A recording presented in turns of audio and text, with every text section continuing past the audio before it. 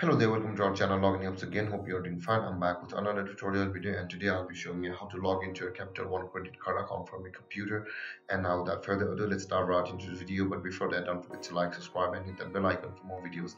Now to log into your Capital One account, first open your preferred browser on your computer as I have already opened the Google Chrome and on the search bar, click over there and type in capital one.com like this and hit enter or you can just simply search for capital one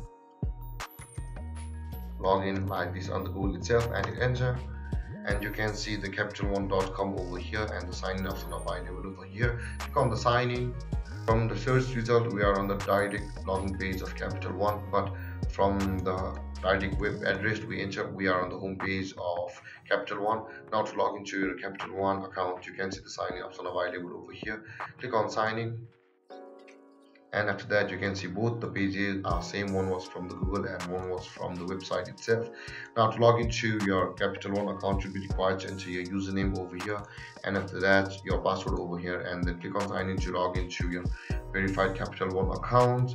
Or if you have forgotten your username you can simply click on forgot username and password forgot username or password to go through a procedure to retrieve your username or password depending upon which one you lost.